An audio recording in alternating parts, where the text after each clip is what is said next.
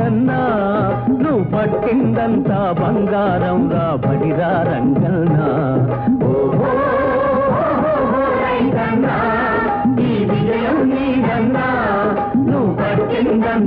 ంగారంగా విజయం రంగన్నా.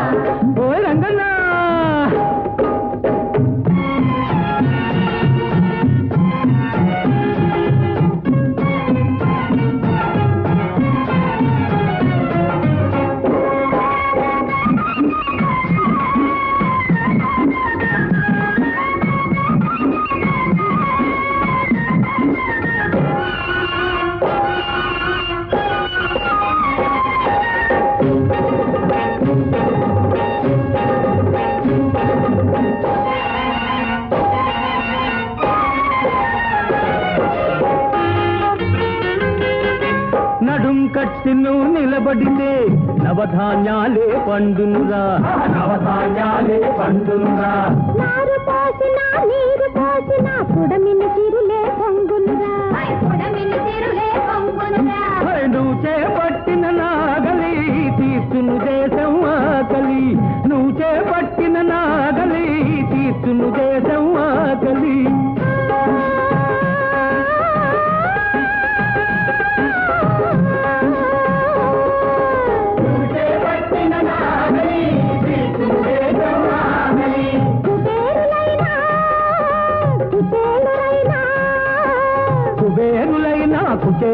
కుచేలురైనా నీకే దాసులు కావాలి తలలు వంచి రావాలి ఓహో కన్నా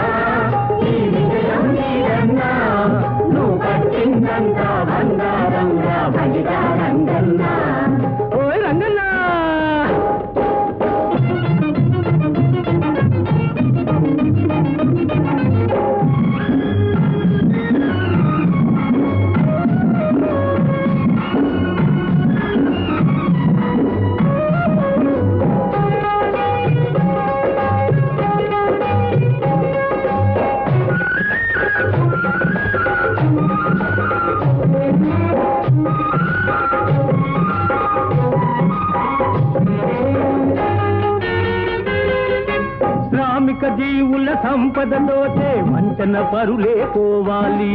వంచన పరులే పోవాలి.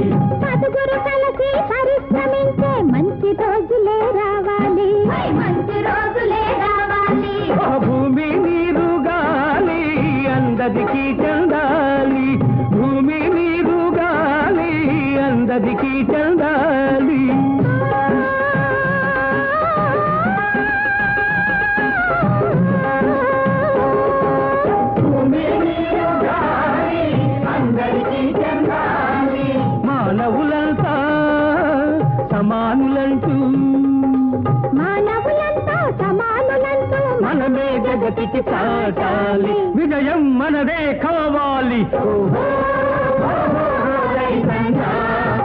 విజయం నీ గంగా నువ్వు పట్టిందంతా బంగా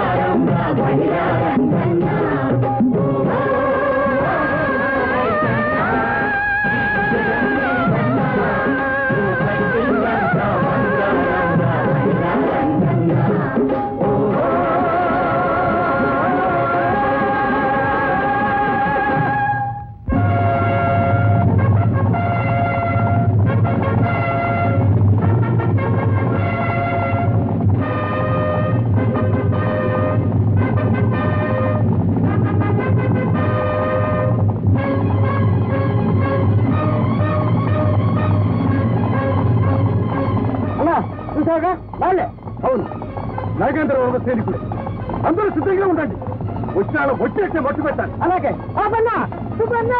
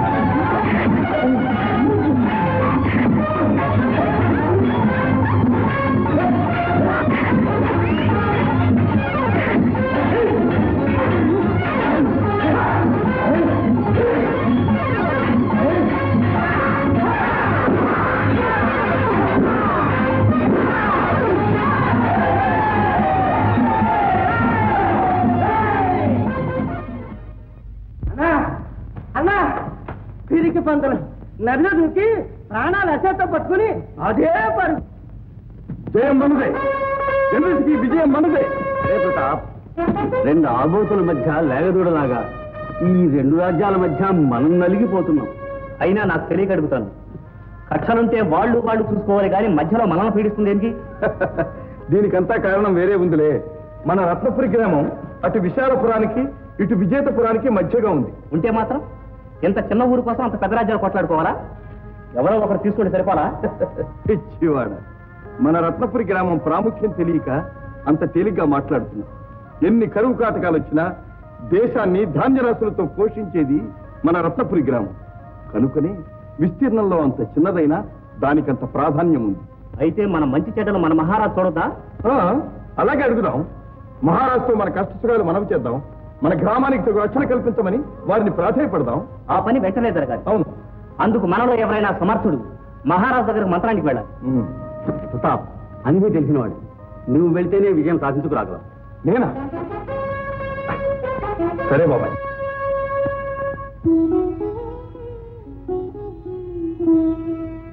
ఆర్యాతం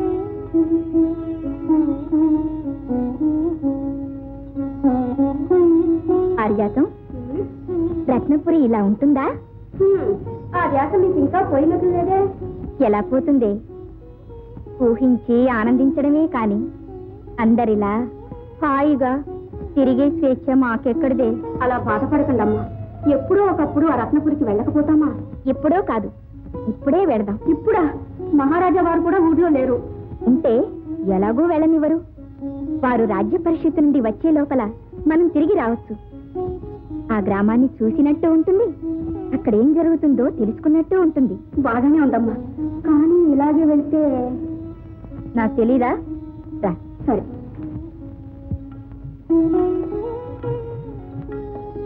అమ్మా మాధవి.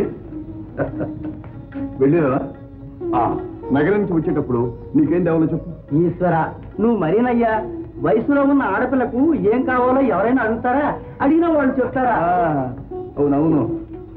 చెల్లి వెతికి వెతికి నీకు ఒక మంచి వరుణ్ణి తీసుకొస్తాను. ఆహా తీసుకురావాల్సింది వరుణ్ణి కాదు వదిన్ని. ఇంటికి మహాలక్ష్మి లాంటి ఒక కోడలు రావాలి తర్వాతే మిగిలినవని. పోనీ నీ కోరిక ఎందుకు కాదనాలమ్మా? వారికి ఒక భావమణిని నీకు ఒక వీరశిఖమని తెస్తాం సరేనా? క్షేమంగా వెళ్ళి తొందరగా తిరిగి రా అన్నయ్య. అరే సుప్రభాతం. இல்ல